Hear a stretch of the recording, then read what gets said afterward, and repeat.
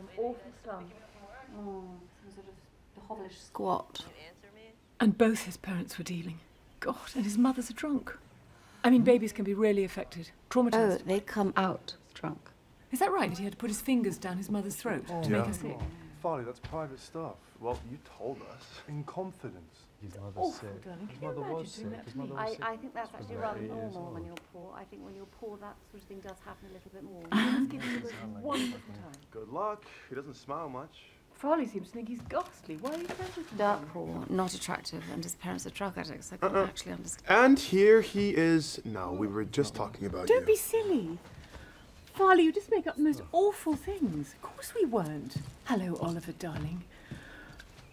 Oh, what beautiful eyes. Oh, how wonderful. Yeah, I told you he wasn't a minger. Oh, but darling, you're kind about everyone. You can't be trusted.